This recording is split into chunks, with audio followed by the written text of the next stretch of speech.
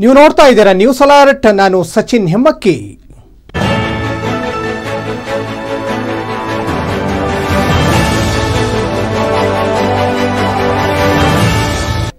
Silicon ಸಿಟಿಯಲ್ಲಿ hit and ರನ್ಗೆ ಯುವಕರಿಬ್ಬರು ಬಲಿಯಾಗಿದ್ದು ಸಿಸಿ ಕ್ಯಾಮೆರಾದಲ್ಲಿ ಸೆರೆಯಾಗಿದ್ದ ಅಪಘಾತದ ದೃಶ್ಯ ಬೆಚ್ಚಿ ಬೀಳುವಂತಿದೆ. ಅಂದಹಾಗೆ, ಮಂಜುನಾಥ್ ನಗರದ ನಿವಾಸಿಗಳಾದ ಗೌತಮ್ ಮತ್ತು ಶ್ರೀಕಾಂತ್ ಮೃತರಾಗಿದ್ದಾರೆ. ಏನು, ಸ್ವಿಗ್ಗಿ ಡೆಲಿವರಿ ಬಾಯ್ಗಳಾಗಿ ಕೆಲಸ ಮಾಡ್ತಾ ಇದ್ದ ಇವರಿಬ್ಬರು ಜಾಲಹಳ್ಳಿ ವಿಲೇಜ್ ರಸ್ತೆಯ ಅಪಾರ್ಟ್ಮೆಂಟ್ನಲ್ಲಿ ಊಟ ಡೆಲಿವರಿ ಕೊಟ್ಟು ವಾಪಸ್ ಹೊರಡಲೆಂದು ಬೈಕ್ ಹತ್ತಿದ ಕೆಲವೇ ಕ್ಷಣದಲ್ಲಿ ಹಿಂಬದಿಯಿಂದ ಬಂದ ಕಾರು ಡಿಕ್ಕಿ ಹೊಡೆದು ಪರಾರಿಯಾಗಿತ್ತು. ಇದಲ್ಲದೆ ಕಾರು ಡಿಕ್ಕಿ ಹೊಡೆದ ರಭಸಕ್ಕೆ ಬೈಕ್ನಿಂದ ಮೇಲಕ್ಕೆ ಹಾರಿ ಕೆಳಕ್ಕೆ ಬಿದ್ದ ಯುವಕರಿಬ್ಬರು ಸ್ಥಳದಲ್ಲೇ ಮೃತಪಟ್ಟಿದ್ರು. ಹೀಗಾಗಿ ಈ ಪ್ರಕರಣದ ತನಿಖೆ ಕೈಗೊಂಡ ಪೊಲೀಸರು ಘಟನೆ ಸಂಭವಿಸಿ ಇಪ್ಪತ್ನಾಲ್ಕು ತಾಸು ಮುಗಿಯುವಷ್ಟರಲ್ಲಿ ಆ ಕಾರನ್ನ ಪತ್ತೆ ಹಚ್ಚಿದ್ದಾರೆ ಯಶವಂತಪುರ ಠಾಣಾ ವ್ಯಾಪ್ತಿಯಲ್ಲಿ ನಡೆದಿದ್ದ ಹಿಟ್ ಅಂಡ್ ರನ್ ಕೇಸ್ನ ಬೆನ್ನು ಬಿದ್ದ ಪೊಲೀಸರಿಗೆ ಅಪಘಾತ ನಡೆದ ಸ್ಥಳದಲ್ಲಿ ನಂಬರ್ ಪ್ಲೇಟ್ನ ಚೂರು ಸಿಕ್ಕಿತ್ತು. ಇದನ್ನೇ ಇಟ್ಕೊಂಡು ಕಾರಿನ ನಂಬರ್ ಪತ್ತೆ ಹಚ್ಚಿದ್ದಾರೆ. ಇದೇ ವೇಳೆ ಸುಮಾರು ಹದಿನೈದು ಕಾರುಗಳ ಪರಿಶೀಲನೆ ಬಳಿಕ ಅಪಘಾತವೆಸಗಿದ ಕಾರಿನ ಮಾಲೀಕ ಸಿಕ್ಕಿದ್ದು, ಮಾದನಾಯಕನಹಳ್ಳಿಯ ಭರತ್ ಎಂಬಾತನಿಗೆ ಈ ಕಾರು ಸೇರಿದ್ದಾಗೆ ಸದ್ಯ ಅಪಘಾತದ ಬಳಿಕ ಮಾದಾವರ ಬಳಿ ಕಾರು ಬಿಟ್ಟು ಚಾಲಕ ಪರಾರಿಯಾಗಿದ್ದಾನೆ. ಈ ನಡುವೆ ನನ್ನ ಕಾರನ್ನ ಸ್ನೇಹಿತ ತೆಗೆದುಕೊಂಡು ಹೋಗಿದ್ದ ಎಂದು ಮಾಲೀಕ ಭರತ್ ಯಶವಂತಪುರ ಸಂಚಾರಿ ಪೊಲೀಸ್ ಠಾಣೆಯಲ್ಲಿ ಹೇಳಿಕೆ ನೀಡಿರುವ ಹಿನ್ನೆಲೆಯಲ್ಲಿ ಕಾರು ಓಡಿಸ್ತಾ ಇದ್ದ ಭರತ್ ಸ್ನೇಹಿತನ ಪತ್ತೆಗಾಗಿ ಪೊಲೀಸರು ಬಲೆ ಬೀಸಿದ್ದಾರೆ.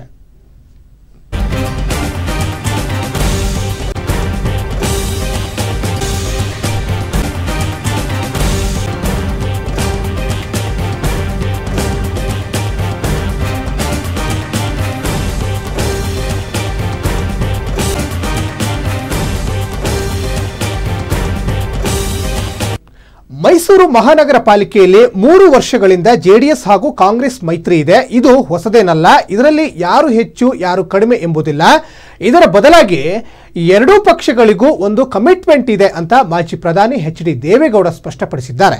ತುಮಕೂರು ಜಿಲ್ಲೆಯ ಹೊನ್ನೇನಹಳ್ಳಿ ಗ್ರಾಮದಲ್ಲಿ ಶ್ರೀ ಲಕ್ಷ್ಮೀ ರಂಗನಾಥ ಸ್ವಾಮಿ ದೇವಾಲಯ ಉದ್ಘಾಟನಾ ಸಮಾರಂಭದಲ್ಲಿ ಭಾಗವಹಿಸಿದ ಸಂದರ್ಭದಲ್ಲಿ ಸುದ್ದಿಗಾರರೊಂದಿಗೆ ಮಾತನಾಡಿದ ದೇವೇಗೌಡರು, ಮೈಸೂರು ಪಾಲಿಕೆಯಲ್ಲಿ ಮೂರು ವರ್ಷಗಳಿಗೂ ಸ್ಪಷ್ಟ ಬಹುಮತ ಸಿಕ್ಕಿಲ್ಲ.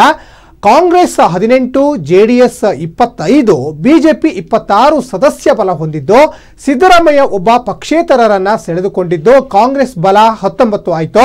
ನಾನು ಇದನ್ನೆಲ್ಲ ಸೂಕ್ಷ್ಮವಾಗಿ ಗಮನಿಸ್ತಾ ಇದ್ದೆ. ಮೊದಲ ವರ್ಷ ನಾನು ನಮ್ಮ ಪಕ್ಷದ ಮುಖಂಡರಿಗೆ ಸಿದ್ದರಾಮಯ್ಯಗೆ ಮೇಯರ್ ಮಾಡೋ ಆಸೆ ಇದೆ ಬಿಟ್ಟುಬಿಡಿ ಅಂತ ಹೇಳಿದ್ದೆ. ಅದರಂತೆ ಕಾಂಗ್ರೆಸ್ ಅವರೇ ಆದ್ರು, ಎರಡನೇ ಅವಧಿಯಲ್ಲಿ ಅವರೇ ನಮಗೆ ಮೇಯರ್ ಸ್ಥಾನ ಬಿಟ್ಟುಕೊಟ್ರು ಅಂತ ಹೇಳಿದ್ರು.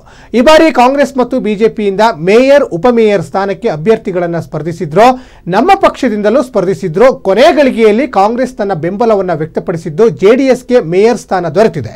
ಕುಮಾರಸ್ವಾಮಿ ನಿನ್ನೆಯಿಂದಲೂ ಅಲ್ಲೇ ಇದ್ದು ಚುನಾವಣೆಯಲ್ಲಿ ಹೆಚ್ಚು ಕಡಿಮೆ ಆಗದಂತೆ ನಿಗಾ ವಹಿಸಿದ್ರು, ಕಾಂಗ್ರೆಸ್ ಉಪಮೇಯರ್ ಹುದ್ದೆ ತೆಗೆದುಕೊಂಡಿದ್ದಾರೆ. ಕುಮಾರಸ್ವಾಮಿ ಜೊತೆ ಕಾಂಗ್ರೆಸ್ ಮುಖಂಡರು ಯಾರು ಮಾತನಾಡಿದ್ದಾರೋ ಗೊತ್ತಿಲ್ಲ ಅಂತ ದೇವೇಗೌಡರು ಹೇಳಿದರು. ಎರಡು ವರ್ಷ ಹಿಂದೆ ಹದಿನೆಂಟು ಕಾಂಗ್ರೆಸ್ ನಮ್ಮದು ಇಪ್ಪತ್ತೈದು. ಜೆ ಡಿ ಎಸ್ ಇಪ್ಪತ್ತೈದು, ಬಿ ಜೆ ಪಿ ಇಪ್ಪತ್ತಾರು ಕಾಂಗ್ರೆಸ್ಸು ಹದಿನೆಂಟು. ಸಿದ್ದರಾಮಯ್ಯರು ಒಬ್ಬ ಇಂಡಿಪೆಂಡೆಂಟ್ ಹುಡುಗನ ಸೇರಿಸಿದರು. ಹತ್ತೊಂಬತ್ತೈದು. ನಾನು ಇದನ್ನೆಲ್ಲ ಸೂಕ್ಷ್ಮ ಗಮನಿಸ್ತಾ ಇದ್ದೆ.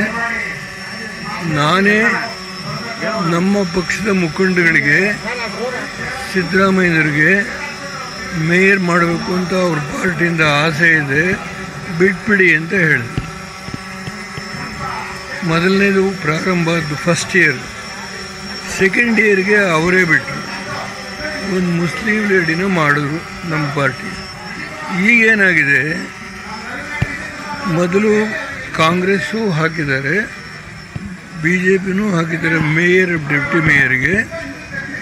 ಆಮೇಲೆ ಇದು ಜೆ ಡಿ ಎಸ್ಗೆ ನಾವು ಅಧ್ಯಕ್ಷರು, ಉಪಾಧ್ಯಕ್ಷರು ಎರಡೂ ಹಾಕಿದ್ವಿ. ಈ ಸಂದರ್ಭದಲ್ಲಿ ಕೊನೆಯ ಘಟ್ಟದಲ್ಲಿ ಕಾಂಗ್ರೆಸ್ಸು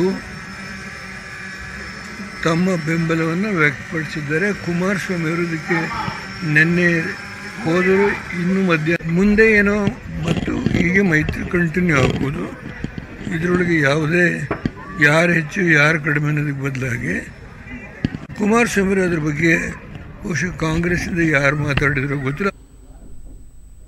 ಧಾರವಾಡ ನಗರದ ಬೈಪಾಸ್ನ ಇಟ್ಟಿಗಟ್ಟಿ ಬಳಿ ಪಟಾಕಿ ತುಂಬಿದ ಲಾರಿ ಹಾಗೂ ಮತ್ತೊಂದು ಲಾರಿ ನಡುವೆ ಅಪಘಾತ ಸಂಭವಿಸಿ ಪಟಾಕಿ ಬಾಕ್ಸ್ಗಳು ಹೊರಬಿದ್ದು ಪರಿಣಾಮ ಸ್ಥಳೀಯರಲ್ಲಿ ಕೆಲಕಾಲ ಆತಂಕ ಸೃಷ್ಟಿಯಾಗಿತ್ತು. ಸದ್ಯ ಪಟಾಕಿ ತುಂಬಿಕೊಂಡು ಶಿವಕಾಶಿಯಿಂದ ಮುಂಬೈಗೆ ಹೊರಟಿದ್ದ ಲಾರಿಗೆ ಮತ್ತೊಂದು ಲಾರಿ ಡಿಕ್ಕಿ ಹೊಡೆದಿದೆ.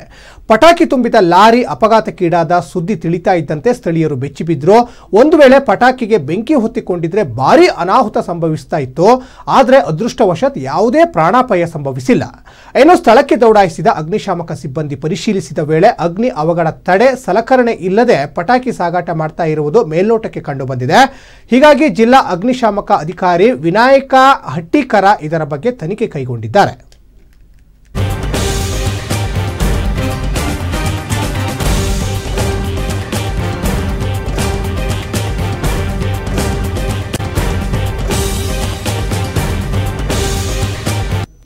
ಇವಿಷ್ಟು ಈವರೆಗಿನ ಪ್ರಮುಖ ಸುದ್ದಿ ಇನ್ನಷ್ಟು ಸುದ್ದಿಗಾಗಿ ನೋಡ್ತಾ ಇರಿ. ನ್ಯೂಸ್ ಅಲರ್ಟ್ ನಿಮ್ಮಿಂದ ನಿಮಗಾಗಿ.